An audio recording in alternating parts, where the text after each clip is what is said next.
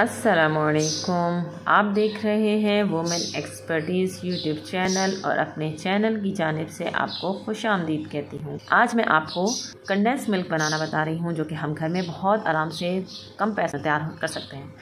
चलिए रेसिपी की तरफ़ चलते हैं। सबसे पहले मैं एक कढ़ाई में दो कप दूध डालूँगी और उसको इतनी देर पकने छोड़ूँगी कि ये दो कप से डेढ़ कप रह जाए।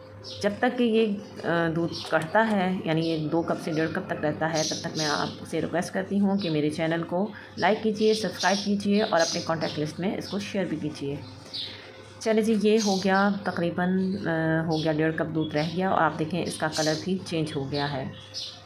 यहाँ तक अब आपको बताऊँ कि ये बन गया है एवेपरेटेड मिल्क ठीक है? इसको भी हम मुख्तलिफ़ जगहों पे इस्तेमाल कर सकते हैं, जैसे खीर वगैरह से भी बन सकती है। क्योंकि जितनी भी ये दूध वाली रेसिपीज़ हैं, जिसमें हमने दूध को रिड्यूस करना होता है, उन सब में हम ये कंडेंस मिल्क ये सॉरी एवेपरेटेड मिल्क भी इस्तेमाल कर सकते हैं और कंडेंस मिल्क भी इस्तेमाल कर सकते हैं, ठीक है? वो क्विक रेसिपीज़ बन जाती हैं।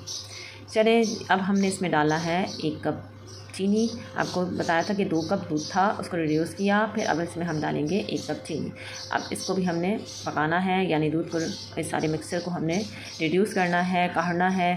तो बस यही काम करना है। साथ साथ ये जब तक रिड्यूस हो रहा है, तब तक मैं आपको बताती चलूँ कि कंडेंस मिल्क के ज़रिए से हम बहुत सारी रेसिपीज़ बना सकते हैं। जैसे कि पहले मैंने बताया कि खीर में सवैयों में जिन जिन चीज़ों में दूध को रिड्यूस किया जाता है, उन सब में हम ये इस्तेमाल कर सकते हैं। इसके अलावा खजूर की फिलिंग में डाल सकते हैं, केक की ड्रिपिंग में इस्तेमाल कर सकते हैं। चले जी, यहाँ पर दूध जो है, वो रिड्यूस हो चुका है, इतना रिड्यूस हो चुका है दूध और चीनी कि अब हमारे तकरीबन हम मंजिल मकसूद पर पहुँचने ही वाले हैं। अच्छा अब जब इसके अंदर बबल्स आने शुरू हो जाएँगे तो इसका मतलब है कि हमारी रेसिपी तैयार है। तो बहुत ज़्यादा हम इसको रिड्यूस नहीं करेंगे। उसकी वजह यह है कि जब ये ठंडा होगा तो और भी इसने गाढ़ा हो जाना है। तो हमें इतनी कंसिस्टेंसी हो कि रनिंग हल्की रनिंग सी जो कंसिस्टेंसी होती है, वो हो। और इसको चेक करने का तरीका एक और ये भी है। एक तो देखें बबल आ रहे हैं। नंबर दो ये कि अगर हम चम्मच में कंडेंस मिल्क को लेते हैं और दरमियान में ये लाइन लगाई तो ये लाइन बरकरार रहेगी। अगर इसमें पानी होता तो ये फ़ौर ही आपस में जॉइंट हो जाता। इसका मतलब है अब हमारा ये कंडेंस मिल्क बिल्कुल तैयार है और अब मैं इसको बाउल में डाल रही हूँ और ये देखें इतना ज़बरदस्त किस्म की इसकी कंसिस्टेंसी देखें। मज़ेदार सा कंडेंस मिल्क जो होम मेड है और बहुत ही मज़ेदार है, बहुत अच्छा है।